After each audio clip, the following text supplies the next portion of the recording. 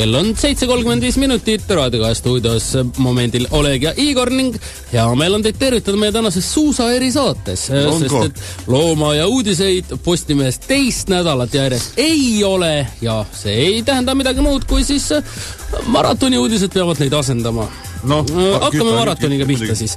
eile otsustas neljakümnes Tartu maratoni korralduskomitee, et kuuekümne kolme kilomeetri start Otepääl lükatakse tund aega edasi ning et see algab siis pühapäeval kell kümme. lühema kolmekümne ühe kilomeetri distantsi lähe antakse samuti tund plaanitust hiljem kell kolmteist kolmkümmend. Läheks ikka tagasi nende loomaiuudiste juurde järgmine nädal no selleks peavad millal see Tartu maraton toimub? pühapäeval, see on siis neljakümnes maraton ja kas sa tead, et on olemas üks üks vanahärra, kes on osa võtnud siis kõigist seni peetud kolmekümne üheksast maratonist ja pühapäeval peetav maraton on talle neljakümnes. ja see papi on seitsmekümne kaheksa aastane ja plaanib ka pühapäeval selle võimsa pakasega starti minna. kui pikk see distants on? kuuskümmend kolm kilomeetrit. miks need inimesed teevad seda?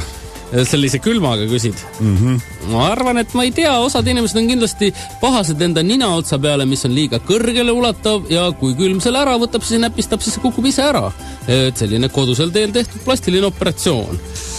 ise käisin eile, ütleme nii, et siis keset Eestit ühes kohas ja tulin sealt äh, öösel, või mis öösel, õhtul tulin ära. Hellenurmest siis? Äh, kuskil poole üheteistkümne paiku ja täheldasin, et äh, tee kõrval on palju vilkuvaid öö, objekte, mõtlesin, et tore, et olen ka nüüd kohtunud ufoga, kuid ei. noh, ma arvan, kell oli kuskil pool üksteist ja suure Tartu maantee ääres inimesed öösel, kui on kakskümmend kraadi, isegi rohkem külma, pime, isi, inimesed suusatasid ja kui ma läksin, ta suusatas ja kui ma tulin, ta suusatas ikka veel. issand jumal, mõtlesin mina.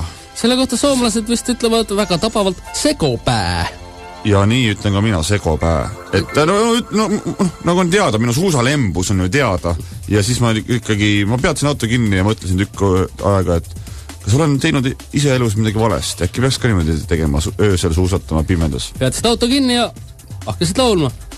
mis tegema nüüd pean, kas olen teinud vea? ma hakkasin laulma seda, et äh, huvitav, mis sellises olukorras äh, Brian Boitano teeks küll, aga millised on sinu soovitused inimestele, kes lähevad siis pühapäeval maratonirajale, kui külma võib olla siis miinus kakskümmend ja veel äh, madalamalegi võib siis elavhõbeda nivoo langeda? no kindlasti võtke kaasa üks äh, praegu konjakiga või midagi taolist, mis annab siis soo, sooja hoida ning äh, üks üks asi, mida ma õppisin filmist, noh, tavaliselt ei ole mõtet Hollywoodi filmidest midagi õppida, aga üks asi, mis ma õppisin filmist Titanic, ärge magama jääge ärge ja... magama jääge, muidu siis külmute ära, nii et loomulikult... hoidke ennast ärkvel distantsil. väga oluline on panna kaela ikkagi vile, sest et siis saate puhuda ja anda teada maratoni korraldajatele, et te olete ikkagi elus. Äh, selles mõttes, et vile võib panna endale ühte ninasõõrmesse, siis kogu aeg on väike vilo on üleval, et äh, siis nagu inimesed teavad, et sa tuled, sa oled ja nii edasi või siis noh, väga oluline on muidugi siin palju räägitakse sellest, et kui teil ei ole külmakaitsevahendit, pange endale ajalehti püksi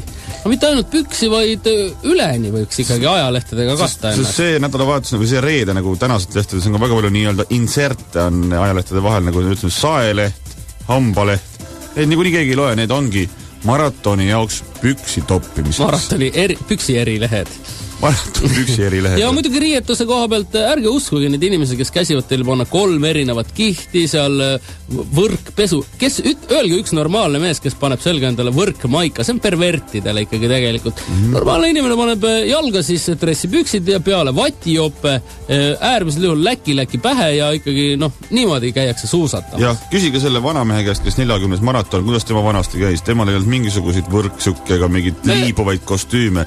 see ei tee teid kiiremaks kiiremaks, see ei tee teid kiiremaks. see on selline ütleme tegelikult otse. see on niisugune pedevärk tõesti. nii, ärge minge, minge ikkagi normaalselt. ärge minge maratonile pedetsema. minge suusatama. tehke korralikult sporti ja ärge pedetsege. jah, täpselt nii